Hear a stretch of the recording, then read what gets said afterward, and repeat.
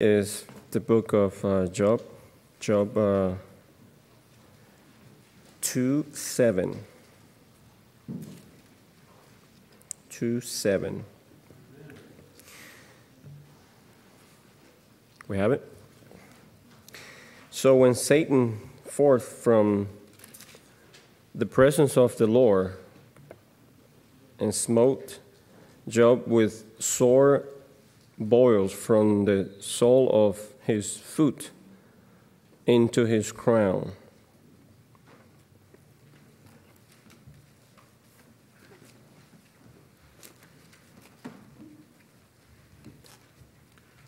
Let's pray. Father in heaven, you touch us from our head to our feet.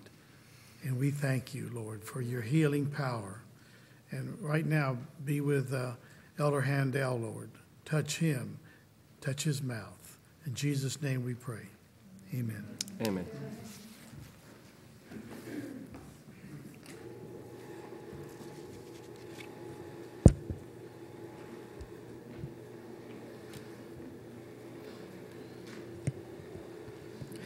Brothers and sisters, visiting friends, I greet you in the name of our living God. It is a pleasure for me to share God's life changing word with you. I could not be the beneficiary of a greater honor. My soul rejoices to see so many friends here today. Thank you for being here. I pray that God gives you a, spec- a special blessing today. Let's quickly turn the pages of our Bible back to Job chapter 2, where we will read for you verses 1 through 8. Job 2, verses 1 through 8.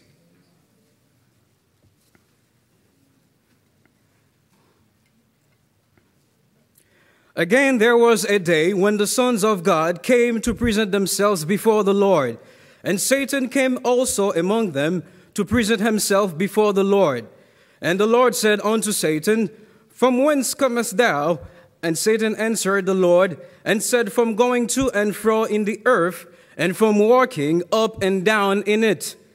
And the Lord said unto Satan, Thou hast thou considered my servant Job, and there and that there is none like him in the earth, a perfect and an upright man, one that feareth God and escheweth evil, and still he holdeth fast his integrity, although thou moved me against him to destroy him without cause. And Satan answered the Lord and said, Skin for skin, yea, all that a man has will he give for his life. But put forth thine hand now and touch his bone and his flesh, and he will curse thee to thy face. And the Lord said unto Satan, Behold, he is in thy hand, but save his life. So went Satan forth from the presence of the Lord, and smote Job with sore boils from the sole of his foot unto his crown. And he took him a potsherd to scrape himself withal, and he sat down among the ashes. May the Lord bless his holy word. Amen. Let's pray again. Heavenly Father, we come to you because you have the words of life, the words of eternal life. Please speak. Your servants will listen.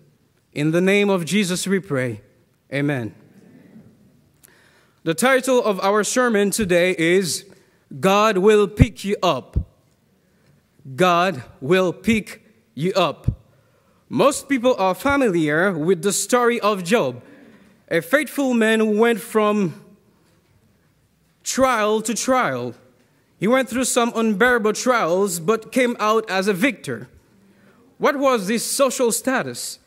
Job was a man of great possessions. He owned 7,000 sheep, 3,000 camels, 500 yoke and oxen, and 500 she asses. He was the greatest of all the men of the East, reads Job 1, verse 3. Not only was he a rich man, but the Lord himself testified on his faithfulness in the following words There is none like him in the earth, a perfect and an upright man, one that feareth God. Job's integrity commanded so much respect that when he went out to the gate through the city, when he prepared his seat in the street, the young men saw him and hid themselves. And the aides arose and stood up. The princes refrained talking and laid their hand on their mouth. The nobles held their peace, and their tongue cleaved to the roof of their mouth. When the ear heard him, then it blessed him. And when the eye saw him, it gave witness to him. Job 29, verses 7 to 11. Job had so much fear for God that he will continually offer burnt offerings to the Lord for his children, just in case they sin or curse God in their hearts when they have their parties. This same Job, a faithful servant of God, will go through a series of bad news in one day. On that particular day, reads the Bible, his sons and daughters were eating and drinking wine in their eldest brother's house. In that day, one messenger came to him and reported that the Sabaeans took his oxen and asses away. Not only that, they killed the servants by the sword, and only one escaped to bring him the bad news. While this messenger was speaking, there came another and said, The fire of God fell from heaven and burned up the sheep and the servants and consumed them all. While the second messenger was speaking, there came also another who said, The Chaldeans came and carried the camels away and slain the servants. The third one was not finished. There came a fourth messenger who reported to him that a great wind came from the wilderness and smote the four corners of the eldest brother's house, and it fell upon the young men and killed them. Frankly, I do not know if I will be able to survive such a series of bad news in just one day. But after learning all these terrible things, Job arose and tore his robe and shaved his head and fell down upon the ground and worshiped. That in itself is a powerful statement a reminder for me that no matter what I may be going through, I may have to shed some tears, but at the end of the day, I shall keep worshiping my Lord. Amen. Job worshiped. Job believed by Psalm 34, verse 1 I will bless the Lord at all times, his praise shall continually be in my mouth. What a reaction! In verse 21 of the first chapter of the book, Job went above and beyond by saying, Naked I came out of my mother's womb, and naked I will depart. The Lord gave, and the Lord has taken away. Blessed be the name of the Lord. Brothers and sisters, realize in chapter 2, verse 5, Satan prophesied that Job will curse God in his face if God touch his bone and flesh. And in verse 9, the enemy used Job's wife to make his prophecy become reality. Then said his wife to him, Do you still retain your integrity? Curse God and die. Blessed be the Lord's name. Job's reaction and instant rejection of this evil idea proved that the enemy is a liar. He, his prophecy did not come true. Something grabs my attention here. Beware, the enemy may use your own to make you go astray. He may use your wife, your husband, a brother, a sister in the church to upset you, to shake up your faith. But when this happens, know who the real enemy is, know whom you are fighting against. The sister is not the real enemy.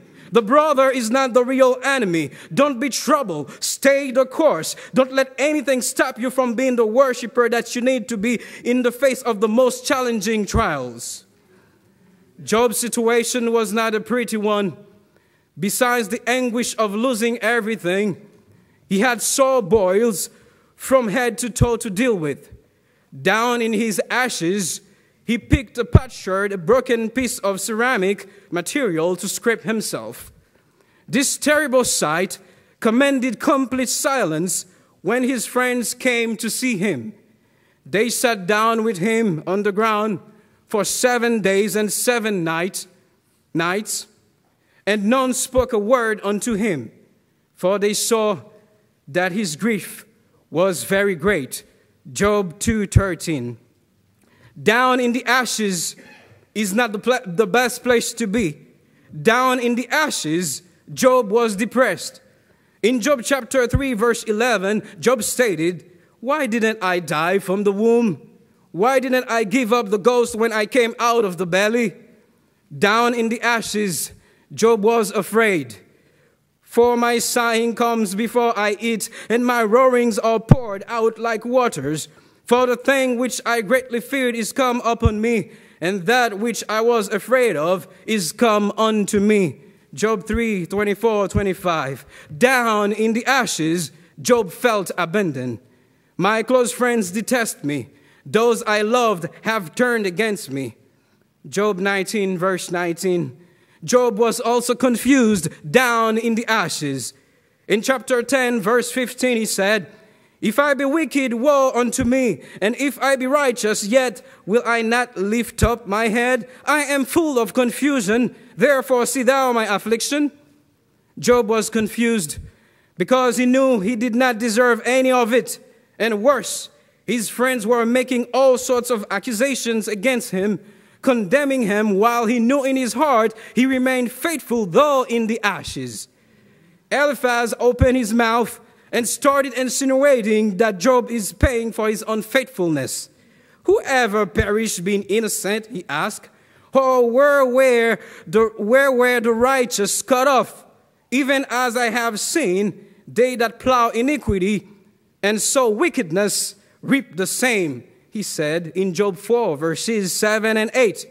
Bildad, in chapter 8, verse 6, unkindly declared, If you are pure and upright, surely God will awake for thee and make the habitation of thy righteousness prosperous. Zophar, in Job 11, verses 3 to 5, added insult to injury by saying, Should your lies make men hold their peace? And when you mock, shall no man make you ashamed? For you have said, My doctrine is pure, and I am clean in your eyes. But oh, that God will speak and open his lips against you.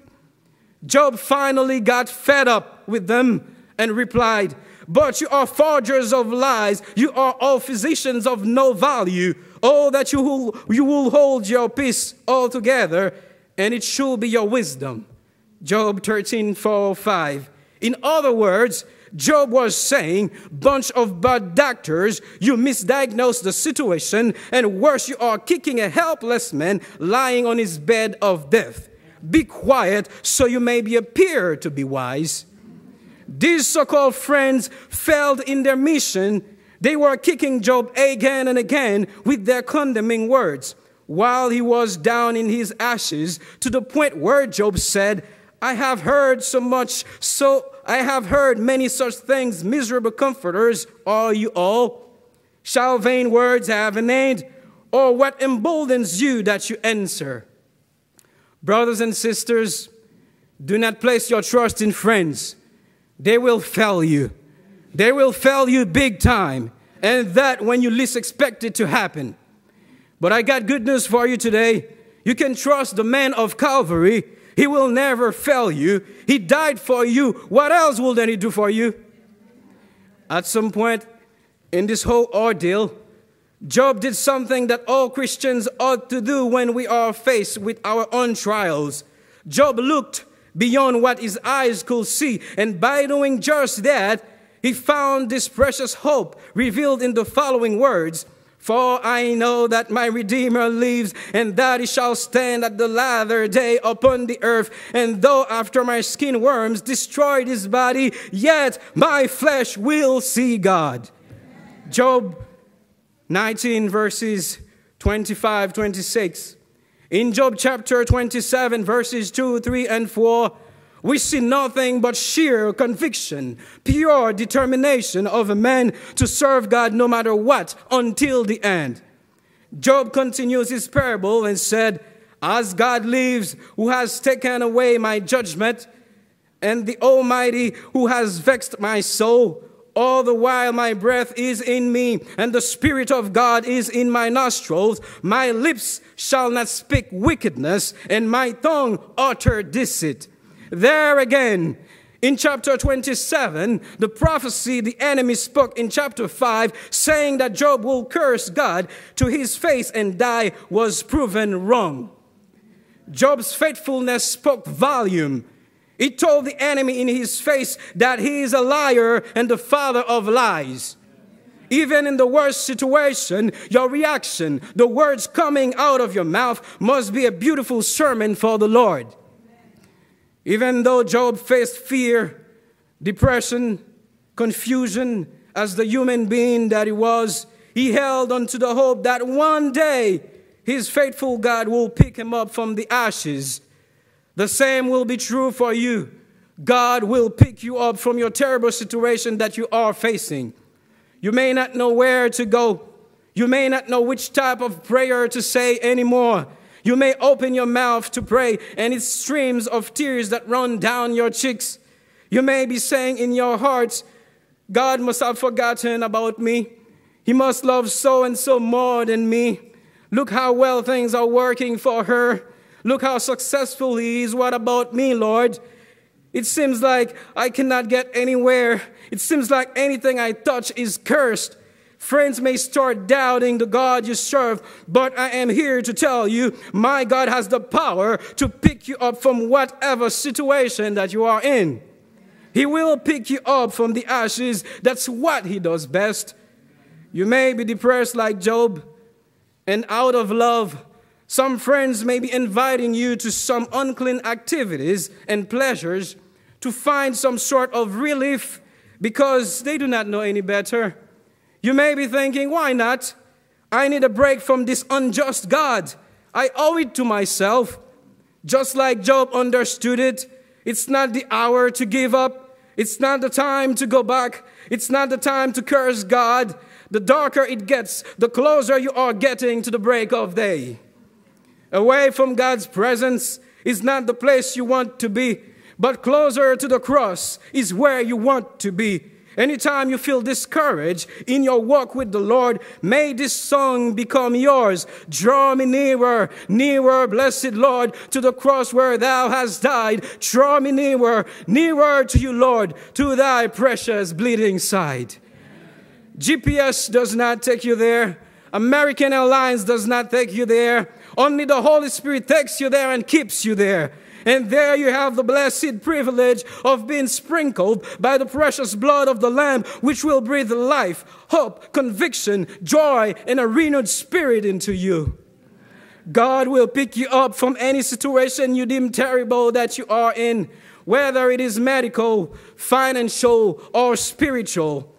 I remember when I was a young boy, my beloved mother took my siblings and myself to a town called Thomassique in Haiti so we could spend our summer vacation with my father, who was stationed there in this area of the country as a military officer. After spending a few days, I became very sick. The more the days were passing by, the worse my situation was getting. I suffered from typhoid and malaria. When my mother realized that she was about to lose her boy, she jumped on the back of a Land Rover pickup with me. She made a makeshift bed for me to lay in in the back of that pickup. Being exposed to the burning sun, I felt terribly hot. There was no fancy ambulance there. As we were on the way, on our way back to our hometown, rushing to make it on time to the hospital, my mother will gently lift up my head from time to time to give me some water to keep me hydrated. And I felt as if life was leaving my body. It was not a comfortable ride, it was a very bumpy one on that long dirt road that took us back to our hometown.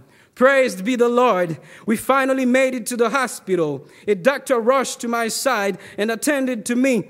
In this period when I became very sick with typhoid and malaria, Many children were being killed or left with a handicap from these same diseases. I became so sick that I had to learn how to walk again at about age five. When I was down in my sickness, the Lord reached down and picked me up. He did it for me. He can do it for you as well. You just have to believe. I also remember at one point I was a young man with a wife and two children, but with no place that I could call my own. I went from job interview to job interview, nothing worked for me. My wife and I did not have much, but we had faith. And faith guided us to the one who has the answers to all challenges. Faith led me.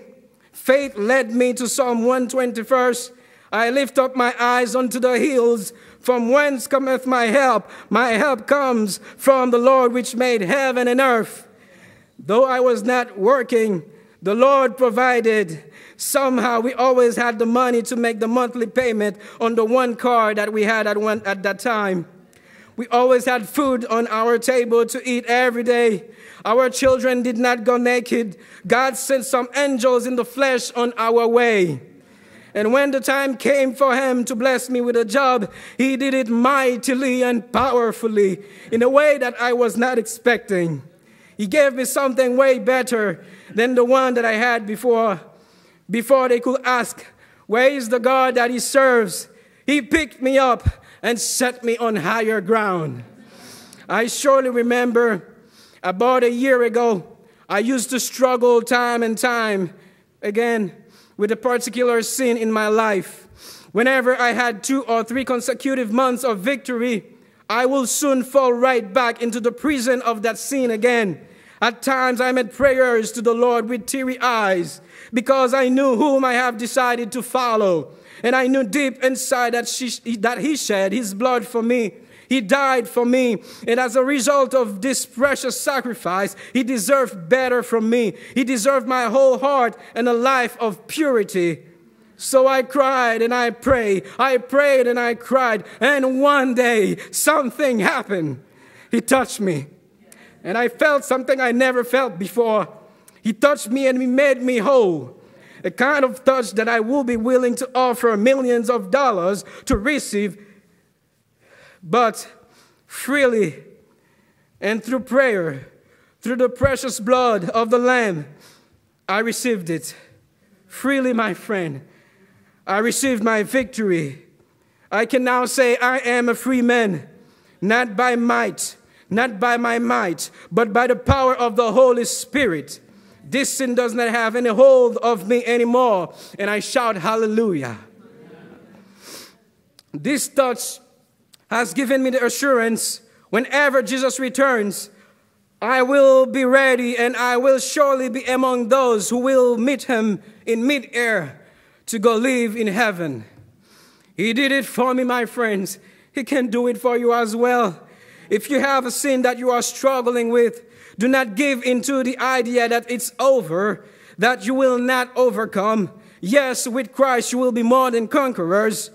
Make prayer your food, songs of praise your dessert, the word of God your passion, and your victory is right around the corner. Get ready to rejoice before the Lord. Your victory will come. You will no longer have doubts about your salvation. On the contrary, your heart will seek after the Lord's return you will know perfect joy.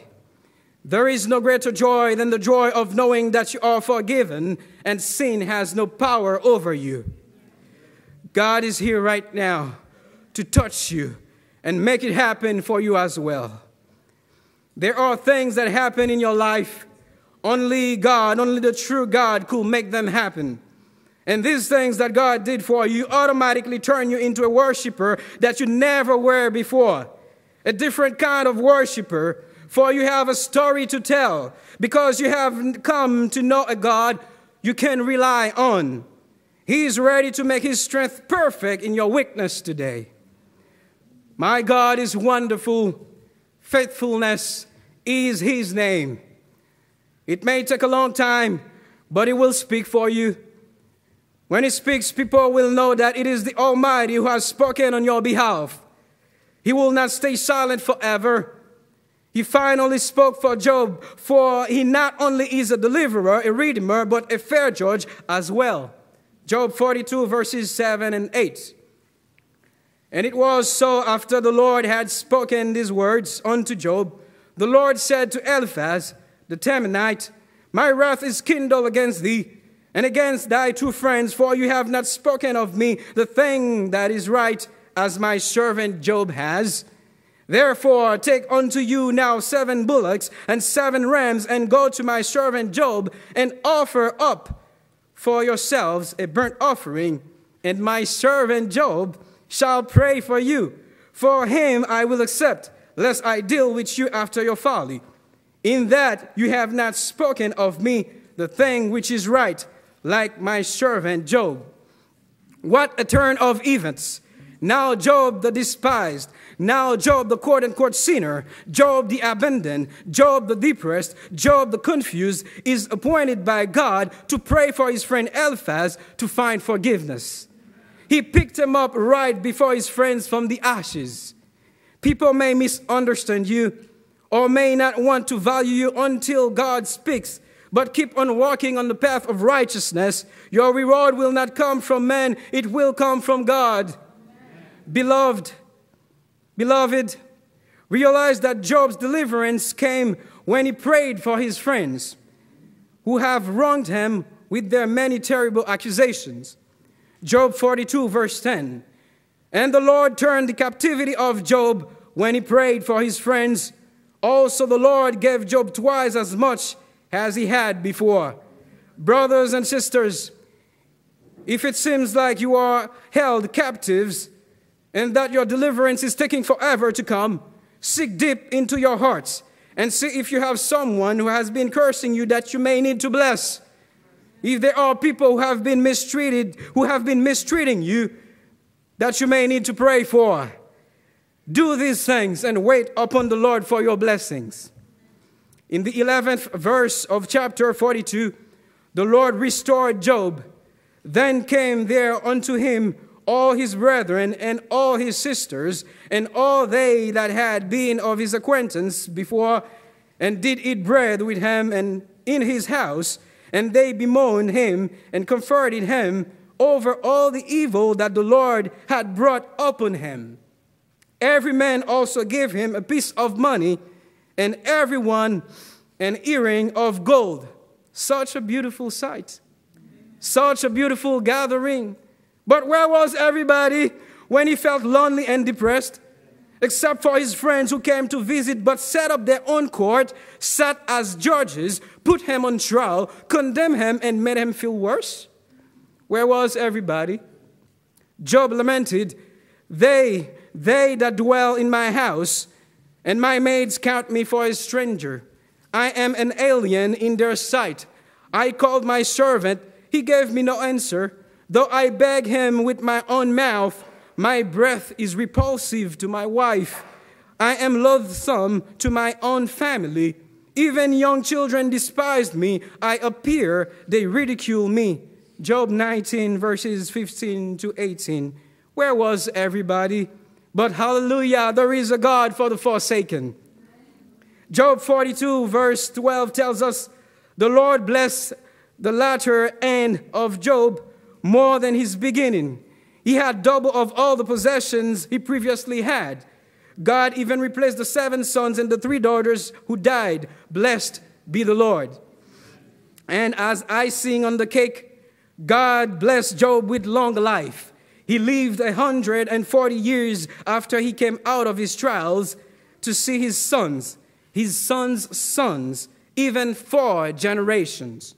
Job was indeed blessed by God. My friends, when you are blessed, keep your eyes on the one who blesses, not the blessings, because when the blessings are no more, friends will leave you, but the one who blesses will never forsake you. Jesus, the faithful friend, will always be by your side. Job was restored because he stayed faithful and passed the test. Brothers and sisters, Stay faithful in your trials. More than 14,000 sheep, 600 camels, 1,000 yoke of oxen, a thousand she ashes, asses, you will have something far greater, far better. It's called eternal life, and this you can believe in. For he is not a man that he should lie, neither the Son of Man that he should repent. Numbers 23, verse 19.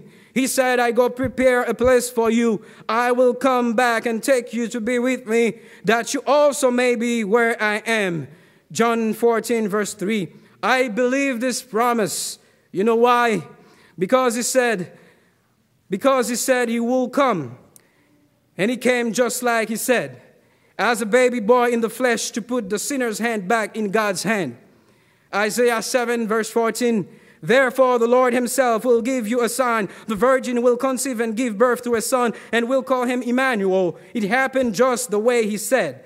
So I trust him to return just like he said he will, as a conquering king in his glory. Yes, it is good to know that, the, that God will pick you up from your bad medical, financial, and spiritual conditions, but knowing that he will pick you up for the heavenly banquet brings greater joy. Jesus will pick you up soon and very soon. People, understandably so, get excited whenever they are promised to be taken to places or activities that they love. If an uncle calls a young nephew who loves soccer and says, I know you like the Brazilian team, they will be in town tomorrow playing against the USA. I bought a ticket for you and I will pick you up after work at 5 p.m so we can go watch the game. I am sure this young boy may lose sleep over this game, not being able to wait to go to the stadium to watch his favorite team. If a young man calls her fiance, whom he has not seen for days, and say, and says, "Sweetheart, I know you are off tomorrow, and I will be working half a day, so I decided to book a table at this prestigious restaurant so we can go have dinner together." I will pick you up around 4 p.m. I imagine that this young lady will have a hard time sleeping because all she will be thinking of is the type of attire she will pick, the colors she will wear, the way she's going to fix her hair, the high heels she will wear, the perfume that his fiance likes the most. She will make sure that she wears her best smile. She may even be smiling in her sleep when she finally falls asleep. Comes tomorrow, I know this young boy will be staring at the clock, hoping that his stare will make the hour hand on the clock go faster. The young lady on her side will think that she will never have enough time to make herself pretty enough for her fiance. She will even wish that the tick tock sounds on the clock had bigger intervals between them. But you know, as much as the uncle could want to be there at the stadium to watch the soccer game with the nephew, he may call 30 minutes before the game starts to say, Nephew, I am sorry. I got into a car accident and I am in the middle of a police report. I do not think we will make it on time to the game. We have to cancel. The fiance may also call her sweetheart and say, Sweetie, my mother gets sick again. I have to rush home and get her to the hospital. I am sorry. We have to cancel our date. Such things happen because we are humans, limited by space and time, and unplanned events that catch us by surprise. But great is my joy to tell you today the one who said he will pick you up is the great I am. He will surely pick you up because he has control over time and space. He is the beginning and the end. When the trumpet sounds for him to come with the army of his angels, no storm, no hurricane, no thunder, no volcano will be able to hold him back. Be excited about your God coming to pick you up. I get so excited about his return that I cannot help but share this great hope with others. I live to see this day. Oh, what a glorious day that will be. I shall see the King where the angels sing. I shall see the King someday in the better land on the golden strand, and with him shall ever stay in his glory.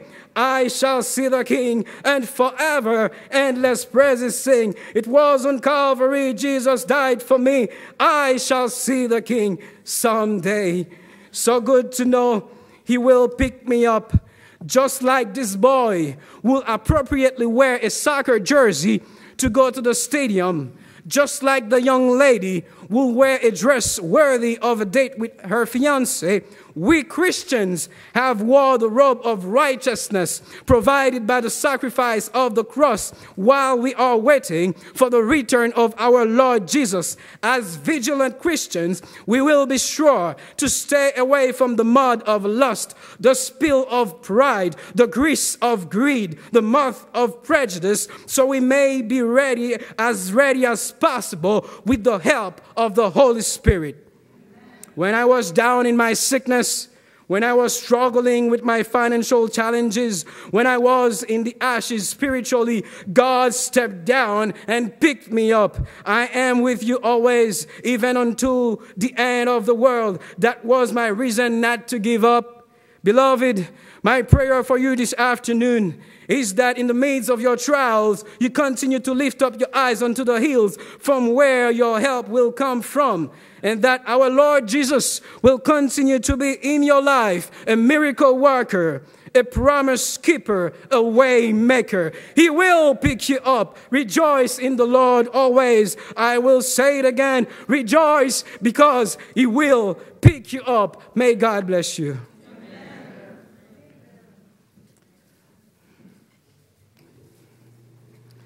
Now I invite you to stand up and sing our closing hymn, number 426 I shall see the King.